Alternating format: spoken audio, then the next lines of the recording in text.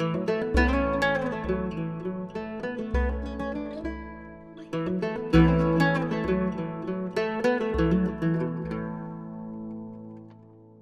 are in my garage and I am going to walk you through a couple of things that I've been working on. I'm working on shelves in the background, that's why it looks a little bit disorganized. I'm usually facing a different way than I am now. Um, I've got some things that I have to explain. This is my bench. This is the one I made for a series, for a video series. And here is where my drawer is ultimately going to go. So there's some changes that need to take place to this workbench as I'm working through establishing my garage, making it more organized and making it suit me. But there are some things that are non-negotiables and one of them is where I hang my saws. For the last 50 years, I've hung my saws here. I've got three saws that I rely on, a 10 inch, a 12 inch, and a 14 inch. So they're the ones that I rely on all the time. So I usually put a screw, I've got a two inch screw with a one inch uh, tube that you just get this tubing for your fish tank or something like that. It's just plastic tubing. And I screw that into the side of the bench. I've tried dowels, they don't work, they don't last. And so this is why I do it this way. If you like it, you can do it too. What I'm going to do is show you what I'm looking for. I want my saw to hang on here. But when I just screw the screw into the side of the bench, and I don't have anything here to stop it from bouncing off. If I'm pounding, doing some shaking, this can jump off. So I've made these little things here. I've taken these off my old bench and these slot right on top, but they swivel up out of the way just enough for me to uh, be able to retrieve my saw and put it back easily. So I haven't found anything that works better than this and I'm going to show you what I did. So bearing in mind that my drawer is governing where the saw is going to hang, I want this horn of the handle to be below, but well below the bench. Let the saw hang, and I'm going to drive this screw into my bench side, like that. Now my saw can hang. Once it's hanging, I make a mark here, like that. And I take the next one, this is my 12 inch, and I put this, try and get the height somewhere like, but it's not. But what I do not want, I don't want the heel of my saw teeth to catch on the saw next to it. So that's, and I'm looking at the height here, so I come up a little bit here, and that's the position of my next one. The, the, rubber, the rubber really does keep the saw safe, which is what you want. So there's number two. They're hanging fine. One more. This is my big saw. And this one's going here. Let it hang, make sure it's not catching. Keep a little distance. There's my next one. So now I'm ready to do the, the swivel action pieces. And that's where they go. So now every time I'm working, I pull the saw out, get to task, put it back, and it's out of the way. It's not on my bench top. I love that. So these now are going to go on the tops of these, and I'm going to show you how to make one. Yeah, I've just got a blank of wood. The important thing on this is I didn't make these the same width as my saw handle, the same thickness as my saw handle. I made it under by about an eighth of an inch because it gives me that little bit extra when I'm pulling the saw off the screw head. Okay, so what we're going to do is this is the one I want to make.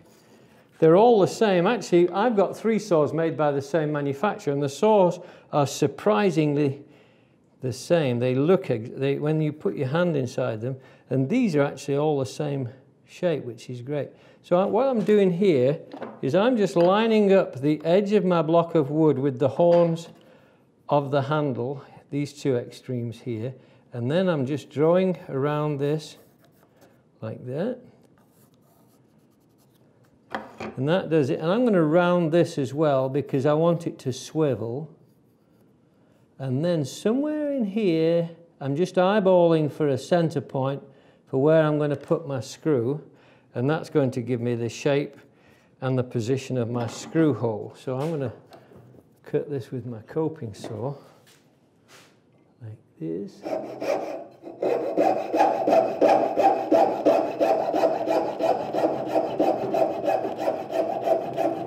Just to take off the bulk of the waste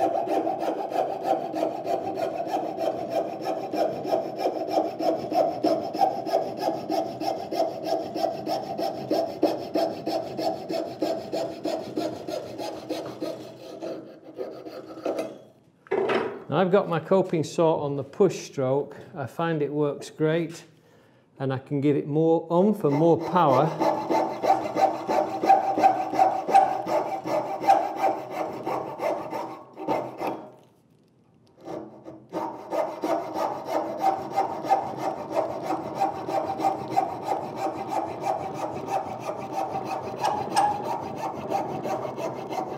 Nice and simple. There is my piece. And now I want to cut this. I've got to take some off the end of here yet.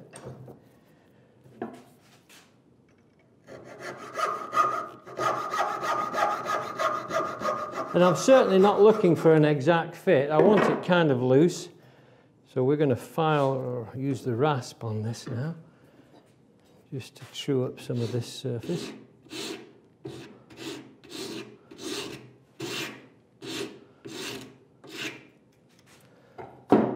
You file to true that up as well. See how we're doing. So we're close, a little bit in the hollow. If you've got a rasp, great. If you haven't, you could just use a piece of sandpaper around a round piece of wood.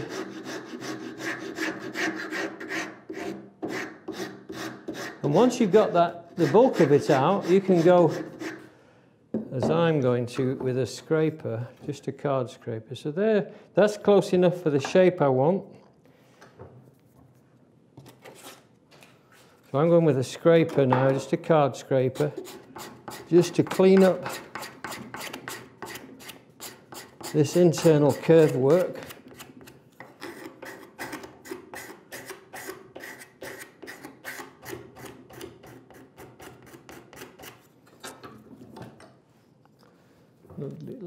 Truing up on this end here.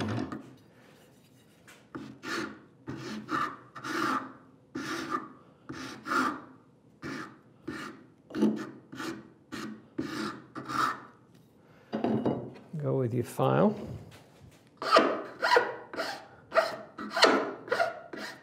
I'm going into end grain there.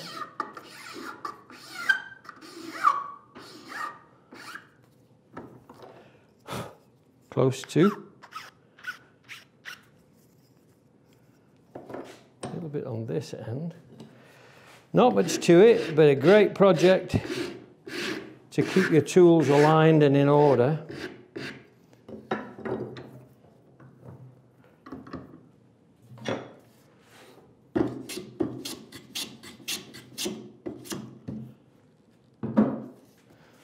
So just a few tools, you can do this.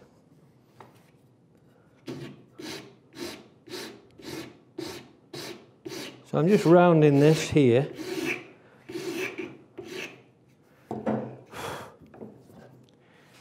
There it is. So I'm close. I need a little bit more in that midsection.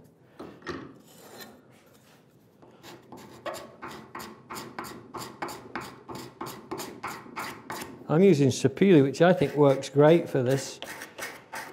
It's got good interlocking grain. A little bit of sandpaper. Where's that going? Just take off the arris off the corners. And we're ready to put this one in place.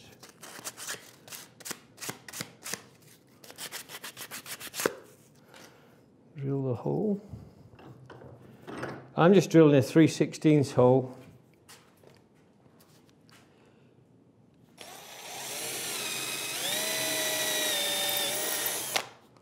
and countersinking just to seat the screw. I want the screw to be below the surface uh, of the wood so it doesn't catch the teeth or anything.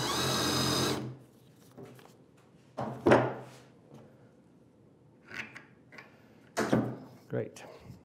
So now I'm going to just hang the saw. And what I do is I just let it hang so that it's hanging on, on the, the screw nicely and free.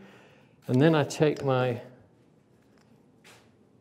piece of wood and what I do is I just keep this slightly off the, the handle of the saw so the saw is still hanging free and not governed by, by this at all. And then drive my screw here till it's just tight. That's a little bit too tight, so I'm backing off. That's a little too slight. There we go. And that means now that I can swivel this up out of the way, take hold of my saw, put it back, drop it on. And after a while, you'll get used to this. You probably won't even need to move that. You'll put your fingers in, just pull it out, drop it back in. But it's handy to have that flex so that you can move it out of the way when you need to. As I said before, this is a non-negotiable for me. I couldn't live without these. Add it to your workshop and I'm sure it'll serve you for your lifetime too.